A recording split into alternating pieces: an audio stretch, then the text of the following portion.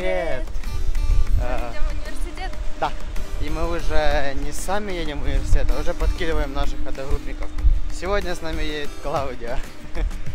У нас сегодня должен быть несложный день, потому что мы сегодня с 10 до 2, а потом в течение недели тут сделали расписание как по нарастающей, с самого легкого дня до самого сложного. Потому что в четверг у нас 10 часов пар. Супер, я жду четверг. Сейчас мы зашли в столовку и взяли себе покушать, потом мы идем в зал. Кстати, нам очень понравилась лекция, потому что сегодня у нас преподаватель был относительно молодой. Вот. Он у нас, кстати, вел в Испании три лекции. Ну, вообще он с Латвии, просто он у нас в Испании тоже вел три первых лекции. Вот, и он нам тогда еще понравился, и здесь он как бы свой авторитет держит. Хороший преподаватель, он такой современный, знаете, вот, без лишних вот этих приколов, типа отмечаний. И он был удивлен, когда услышал, что у нас на одном предмете каждую лекцию у нас тест и какое-то задание. Он был вообще в шоке. Я взяла себе крем-суп, Тимка себе взял салат и э, отбивнуху, как всегда.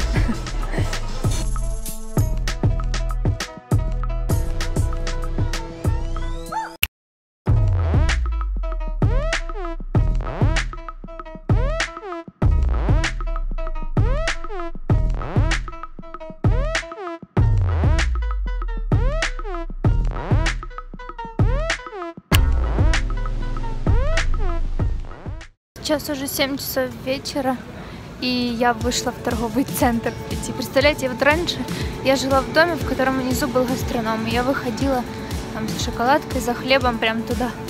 Сейчас я выхожу из дома и иду в торговый центр. Не знаю зачем. Вообще, я хочу купить духи сильно себе.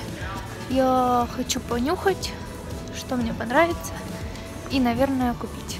Потому что у меня нет духов, закончились все. Раньше я пользовалась Armani Aqua di Già. Мне очень нравился этот запах, но он мне уже надоел. И вот я дождалась момента, пока они, когда они закончились, и решила, что все, нужно менять запах.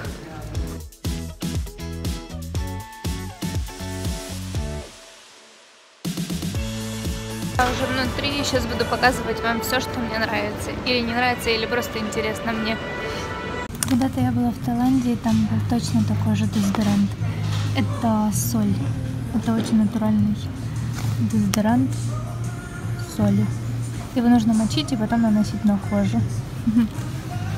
Смотрите, еще какие тут ядовитые краски для волос. Особенно вот эти. Еще тут есть но временное окрашивание.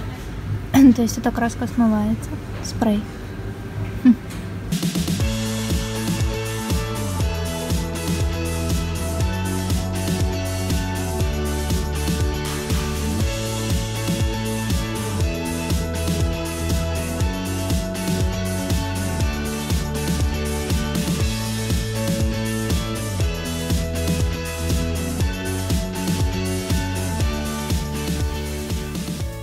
Из новых лично для меня магазинов вон сзади магазин, который называется Lindex. Это э, шведская марка. Судя по оформлению магазина, я так подозреваю, это сеть H&M. Ну, в общем-то, магазин неплохой, но такой для людей постарше. Постарше, чем я. Вот. Закон подлости. Магазины уже закрываются. Я уже ничего не успеваю. Ну, блин, ну как так? Так как я вам уже сказала, что магазины закрывались, я просто очень быстро, реально очень быстро забежала и купила все духи.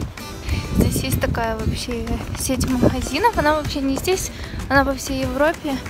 А, как это называется? Дуглас. О, вот, Дуглас. Там я зашла себе и нанюхала духи.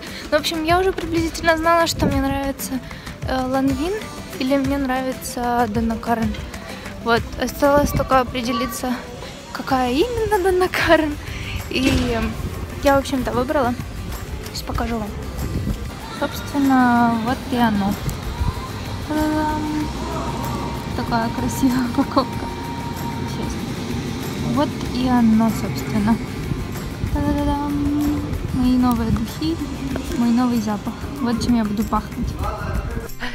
Ну, Диа, как тебе мои духи? Ну, мне нравится, я их, наверное, заберу себе. Нет, нет, это мои духи, мои, мои духи, мои. Да, такая баночка. Я еще купила себе дезодорант, но ну, дезодорант это ладно. А смотрите, как он пшикает. Он пшикает через вот эту вот э, петельку. Смотрите. Везде. Прикольно? А еще я купила себе колготки, но это такая чисто женская тема. В Испании я купила колготки за 6 евро. Мне очень нужны были колготки, я купила их за 6 евро, и они были ужасного качества. Здесь я купила за 2 евро, и они отличного качества, и, в общем, мне очень нравится.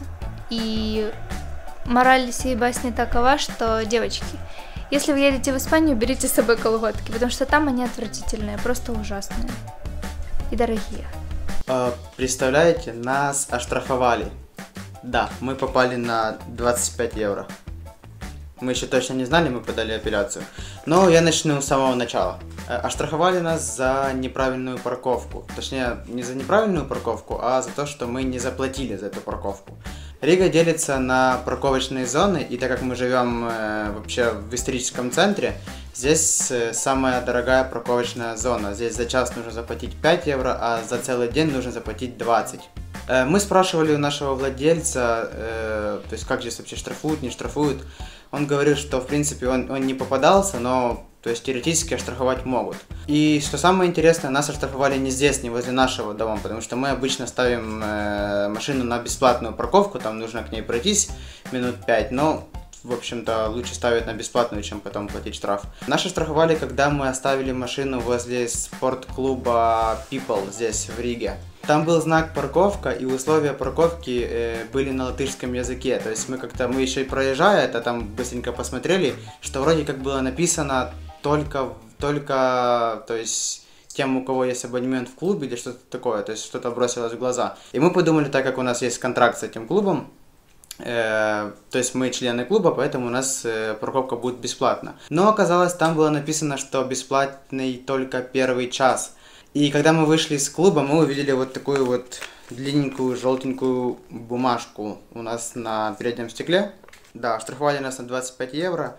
В общем, э, Стас, как водитель, он написал э, письмо этой компании, которая нас штрафовала, он объяснил ситуацию. То есть мы ждем, э, что они решат, будут они нас штрафовать или нет. Мы им объяснили, что мы не поняли условия, то есть там такую, то есть правду сказали. Вот, поэтому мы сейчас уже, когда подъезжаем к клубу, мы уже сразу оплачиваем через интернет парковку. В общем, здесь с парковками туго, очень мало мест, где поставить парковку, бесплатных, вот, и там обычно все занято, то есть мы, бывает, на нашу бесплатную парковку возле дома подъезжаем, и там просто стоим, пока кто-то выйдет, но другого способа нет. В общем, мы вам желаем, чтобы вас никогда в жизни не штрафовали, и чтобы вы не нарушали правила. И крепко спали. И крепко спали, да, вот так. Всем хорошего дня, всем приятного аппетита, кто завтракает. До завтра. Пока.